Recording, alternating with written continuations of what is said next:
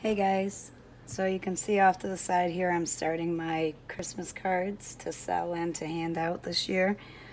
I'm going to show you the 10 cards that I did for the October Hero Arts kit and I can't wait to see what they come out with on Monday for the November kit. I tried to do some different ideas of this kit so they don't really go together as a set but I still like the way most of them turned out. So for card number one, I colored in, most of these were colored in with my Zigs and my Arteza real brush pens.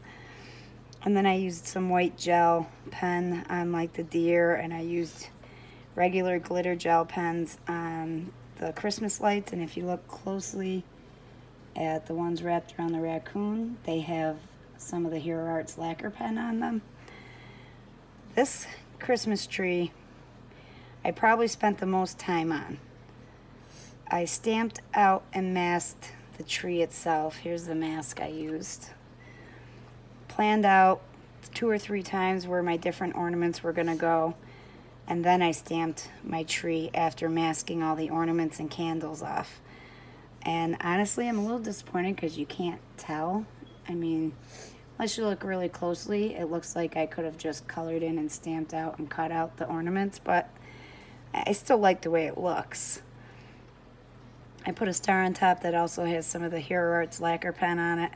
And as you can see, I ink blended the background with Distress Oxides. And I put some yellow behind all the lights and the star. There's something stuck to my card here. It's bothering me. Okay, so I put yellow behind each of the candles that I put on the edges of the tree and behind the star and then blended in the background with some broken china seedless preserves and faded jeans. And then I used some of my gold. This came in a kit last year. I don't remember which kit. I'm sure you all remember it though. And I still have some left, but unfortunately the sprayers on both of these broke. So whenever I use it, I have to kind of take the little thing out of the bottle and flick it on. So it came out a little more blobby than I wanted. But it still made its purpose to look like either snow or stars. To me, kind of looks like stars now. I use um, some Simon Says Stamp Fog cardstock to make my snowbanks and just painted them with that iridescent watercolor that came in the kit. And then I used some light gray Spectrum Noir marker to make my shadows. And I popped the deer and the raccoon up on foam tape also my sentiment, which says Winter Wishes, which I embossed with white embossing powder, and I actually used the white embossing powder from Hero Arts that I recently ordered correctly this time. And I, it came out a little bulky for my liking. So next time I'll use my superfine detail. My, I found it, my Wow superfine, superfine white embossing powder. I found where the kids hid it. And it's on a white card base. And look, see, I got to start leaving, stop leaving my cards out on the table because then the kids pick them up. And look what happens. Wait till you see the one card that Jack's touched with cookie hands. Won't be selling that one. So here's card number one. Once again, as always, until I can finish my problems with editing videos, um, if there's anything I missed and you guys would like to know, put it in the comments and I'll answer. Card number two is one of my favorites. I wanted to make a window. I worked really hard on this window. It took me a long time. I used some of the glitter cardstock in the back. And of course I cut out the middle because I don't like to waste glitter cardstock. My window frame I kind of measured out because I don't have a window die of just these two tiny ones which were way too tiny for my purpose. I wanted to be looking out the window and I popped that up on two layers of foam tape. In between the two layers of foam tape, and this is, there's acetate right behind that first layer. Um, I put some of the icicles because I didn't want them to look like they were up against the window right away, and I also didn't want them to look like they were plastered to the background. I did some more ink blending. It was just simple with tumbled glass and broken china, and of course the mustard seed yellow behind the, the lamp posts and I stamped some of the garland and cut out around it, one for the outside, with some mistletoe on each lamp post and one for the inside of the window as if it was decorated with some of the iridescent stars. And we got two hills in there. And I used some, uh, what did I use on there? I know it's glitter. I think I, oh, that's right. I put glue on there and mushed it down to the, texture I liked. And I added some of, just a square bottle of white glitter that I got from Joann Fabrics. I put a little guy on a sled in there. Did some of the snowflake or snowflakes that came in the stamp kit with uh, snowflake tinsel embossing powder. And you can see my two little birds there. I know you can't see him, but I didn't, I mean, you don't see everything when you look out a window like this, so it didn't matter to me that you couldn't see every image. And then I put Let It Snow. And that was it's on a gray card base but you can't really see it from the front. And that was it for card number two. Also when I'm done showing you the cards I have a tip for you guys at the end of the video and a special surprise to show you. Now when I made card number three I was watching that crafty YouTubers blog hop videos and I saw I wish I could remember so I could give her props but if you watch day one or day two on if you go to Justine Hovey's channel, she'll have all the days posted to start out the blog hops. She did, this lady did a snowman with a chalk method, and she just used clear embossing powder and then went over it with chalk and brushed it in with her fingers. I did that with this set, but I also wanted to make, you know, a couple of things pop in color.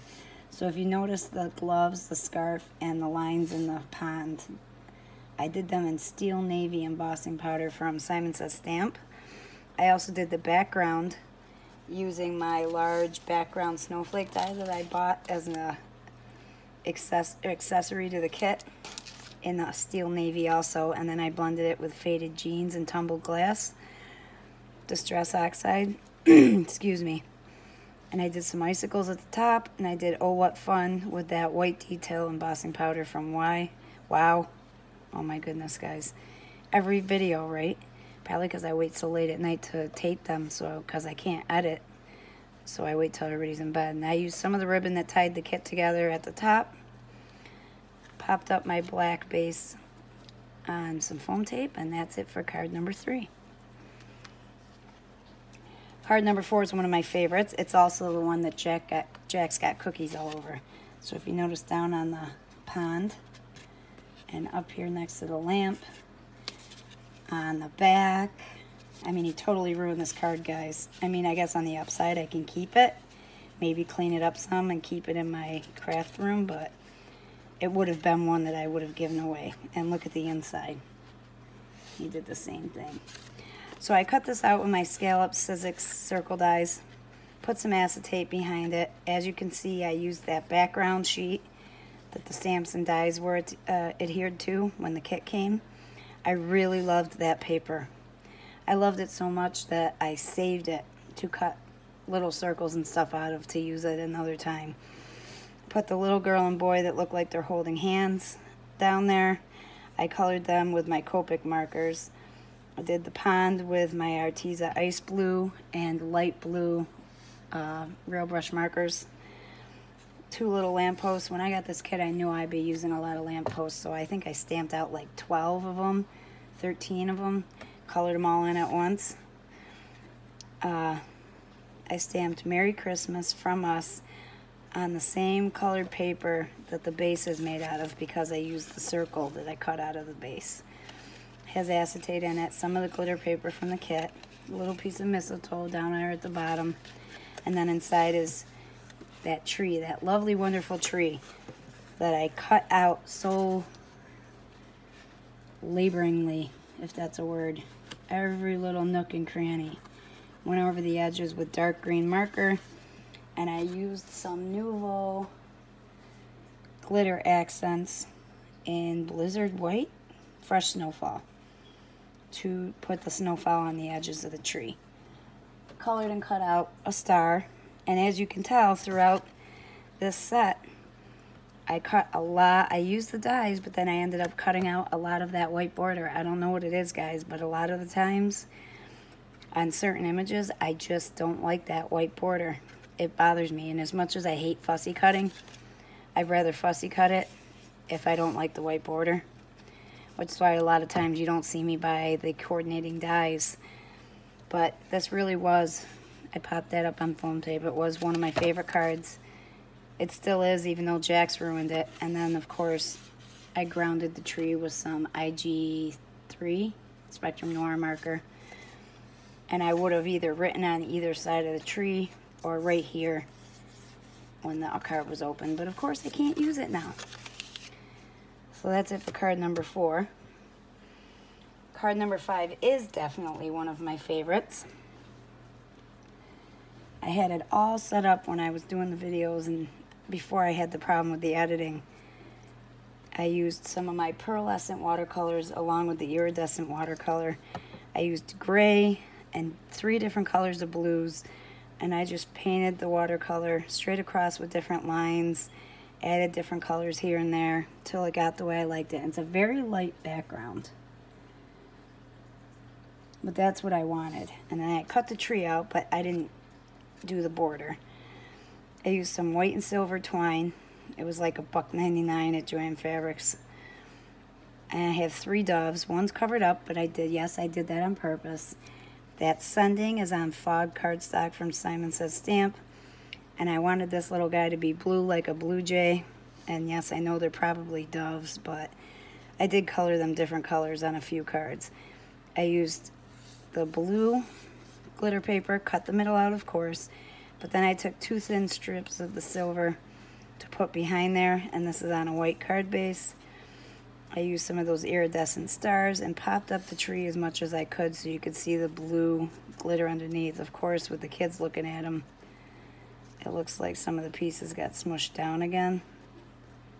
And I just trim my nails because I have such a hard time doing cards with nails. So I'm having a hard time popping them back up. I popped that whole panel up on foam tape and of course, where's the rest of the sentiment? It's one of the few I put an inside in. I don't always do that. I hardly ever do that, unless I know I'm selling them. So a piece of Simon Says Stamp Fog cardstock, some of the snowflakes from the kit. I used Summer Sky, I believe, from the Hero Arts kit, the one that came with the layered ocean, and put Winter Wishes inside. And that's it for card number five. card number six, I started to do one way and ended up doing it another way. So, what does this card remind you guys of?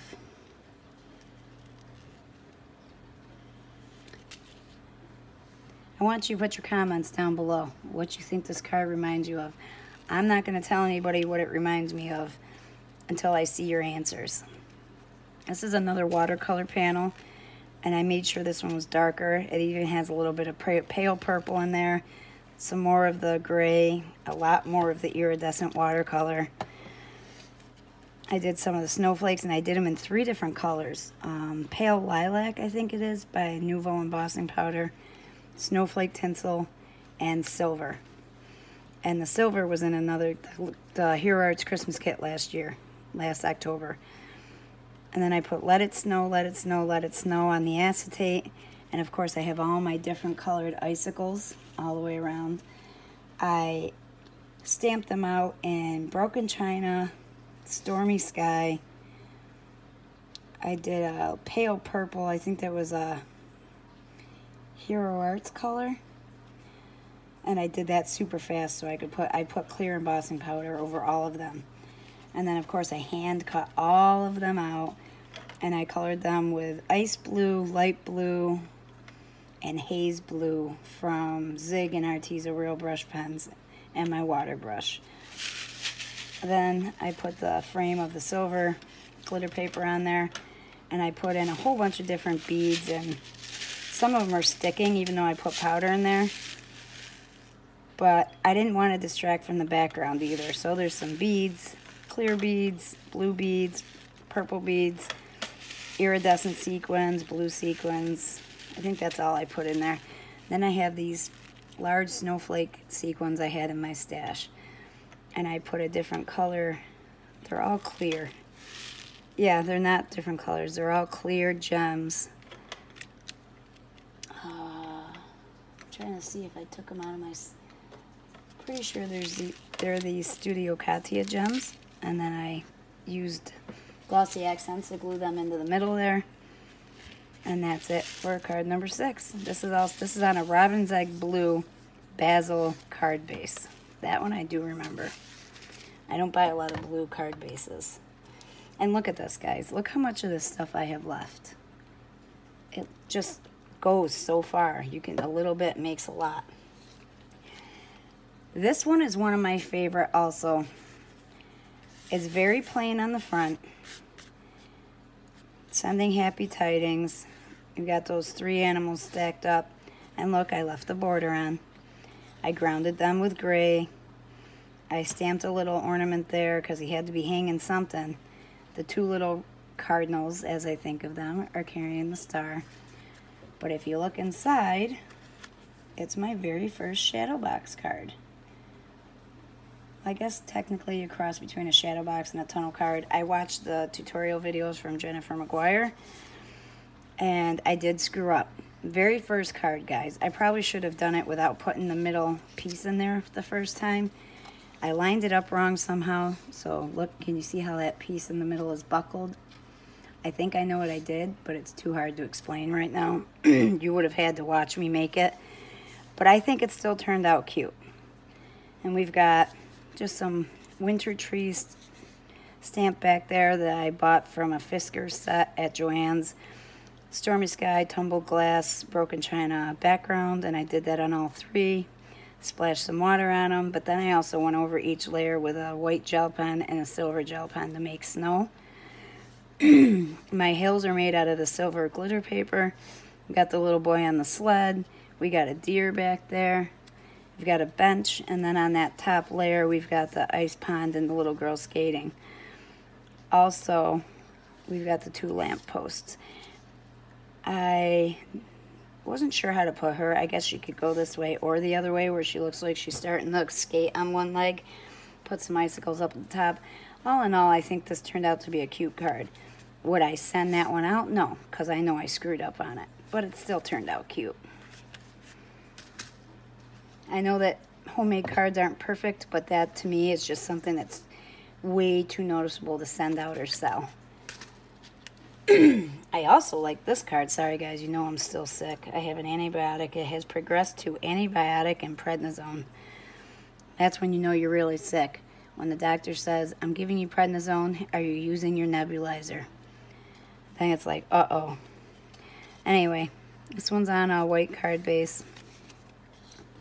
Blue glitter frame covering the whole front. Cut out the middle, of course. This base, or this card, card front, oh my goodness, was blended with the yellow for the lights, mustard seed of course, but I think I used a little bit of the squeeze lemonade to go outwards, and in the end it didn't matter because the purple covered it up. I used the seedless preserves, and I used Dusty Concord, faded jeans, and black soot around the edges. This was not Distress Oxide, this was regular Distress Inks. I still think I like this better. I mean, the comparison, even though this is different colors. Where's that first card? Yes, this blends smoother, but I, in a way, think that this looks more realistic. So anyway, we've got four lamp posts. And do you guys remember? I heard a lot of people complain that raccoons got lights, but there's no lights anywhere in the stamp set. But uh-huh, we got Christmas lights in the stamp set for Christmas last year in October. So I broke those bad boys out and I colored them in and I painstakingly cut around them to make, I mean, yeah, I don't like white borders, but guys, come on. There was no way I was cutting all the way around there and not leaving a white border. It just wasn't happening. I used some more mistletoe. I colored the background in between the leaves uh, a kind of blue to kind of, you know, so you would see the night through it, not white. I have two pieces of snowbanks on there with the silver glitter paper. The front one's popped up thin. Oh no, it's not. I glued it flat down. It looks popped up because I got so many layers there. And then we've got two guys, and I mirrored him by using the back of the Christmas tree stamp and went over his edges a little bit to darken them with a Sharpie uh, micro pen. Colored them in. They're both done with Zig and Arteza markers. And then did the Christmas lights, all of them in gel pens, red, green, yellow, and blue. And then made a whole bunch of messy Christmas lights out of that one string from the last year's kit and then cut them out also. So it would look like they were all tangled up. They didn't know what they were doing. And it says, oh, what fun. And this is one of my favorite cards. I like the way it turns out.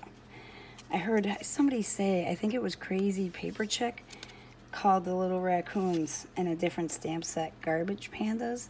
Don't quote me, because I'm not sure it was her. Pretty sure it was her. But I thought that was the cutest name for these guys. They look cute. You get them suckers up close.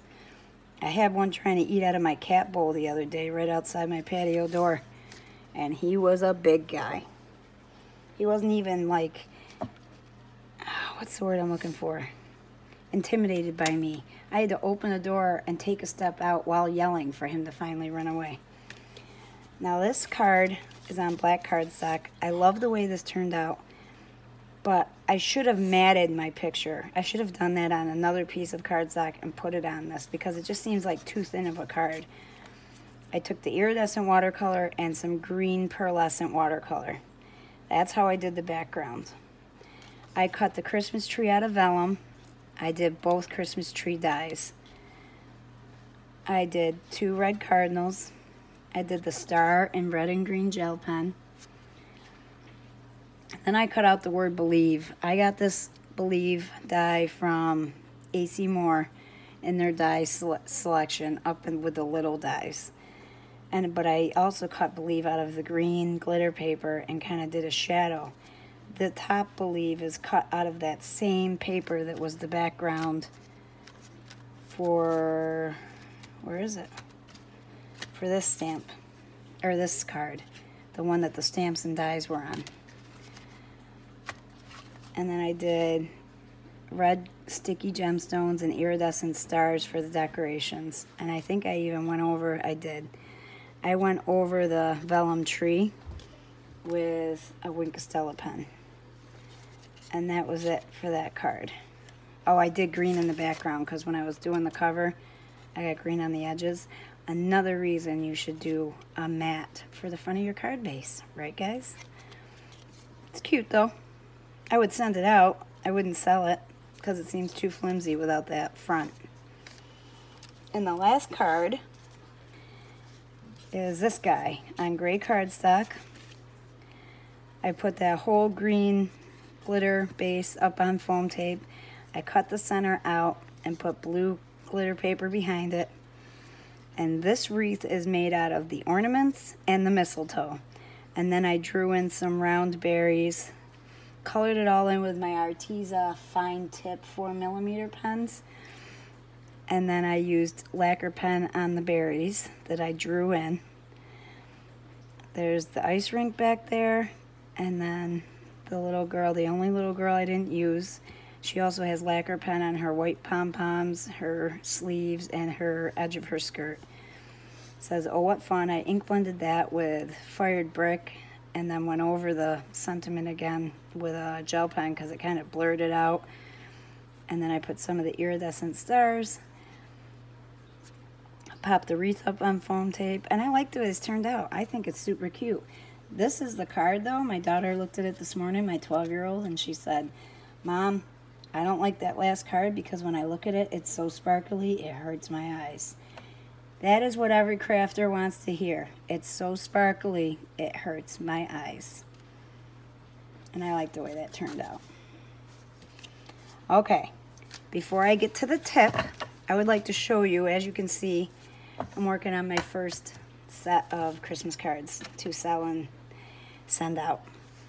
My daughter wanted to make a card while I was coloring, so I gave her some of the um, penguin set. By the way, it's the favorite, my favorite things penguin set. I think it's called Sweet Holiday Penguins. She stamped them out on the MISTI. I taught her how. She colored all her images in on her own. We even stamped the, the candy cane without the penguin. And then she wanted a Christmas tree, so I let her stamp out the Christmas tree that came in that Lawn set I'll be using soon.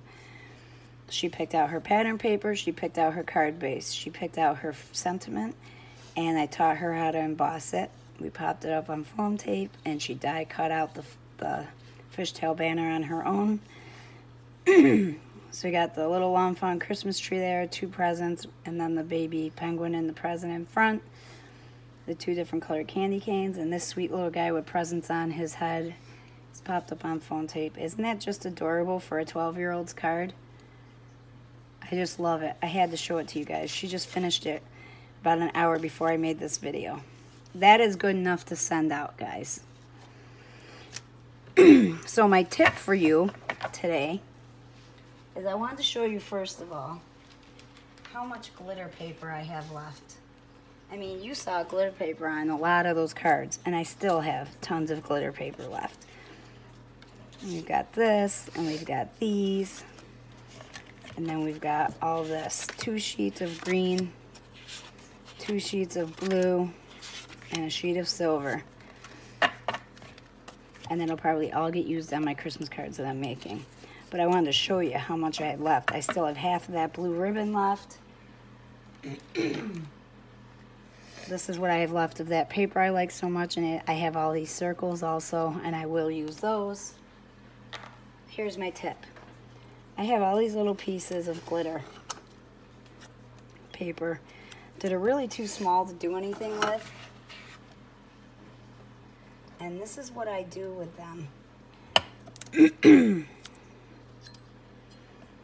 I take them and I take my regular hole punch. I think this is just regular size. And I just start punching out circles until I can't possibly punch any more circles out. And I mean, I don't know if anybody else does this, but I'll show you what I do with them.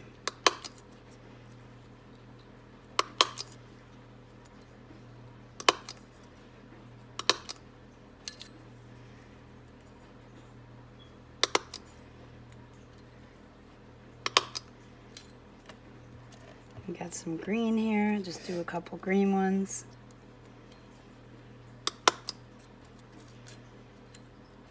I mean, you know it's still a perfectly good piece of glitter paper, and glitter paper is so expensive. Who wants to throw it out, right? But you also know that even though it still looks like a perfectly good glitter piece of paper, how long is it going to stay in your stash before you find something tiny enough to use it on? So I do that, and I cut out a whole bunch of these. And then I have this guy, which I bought at Dollar Tree for a buck. I found it in the cash out aisle. I think it's for medicine. Here's some I cut earlier. I save them for shaker cards. And depending on how the, the thickness of my shaker card, like if I use two layers of foam tape, I'll color the backs real quick of the color, same color it is in case it gets flipped over in the shaker card. But I've used these in so many shaker cards, guys and they turn out so cute with that that sparkly that that that sparkle that you don't get from sequins. And you only get from glitter paper. This is from last year's leftover glitter paper from the Simon Says Stamp Doodlebug uh, Santa kit and I just thought that was a little tip I wanted to share with you guys I mean I even have some which I think I showed you in a previous video some uh, alcohol ink paper that, you know, I really couldn't do anything else with. This was from the Coffee Hero Art set. And then a couple of mirrored mirrored ones. But I, all those little pieces I couldn't do anything with, I cut into circles for shaker cards. So I just thought I'd give you guys that little tip because all of this will be turned into shaker card material for me. So that's it guys. There'll be a video out soon with the first set of cards that I make to sell and give away, which will be these little guys. yeah, I colored these with my Copics and my Spectrum Noirs in case you wanted to have a look. And that will be coming soon. Let me know how you like the cards. Let me know if there's anything that you wanted to know that I didn't tell you. if you like what you see and you're not a subscriber, please subscribe. Hit that notification button because there's a giveaway coming up for this month. There's at least one giveaway every month. And I think that's it. I hope you guys have a wonderful rest of your weekend, and we will see you soon. Bye bye.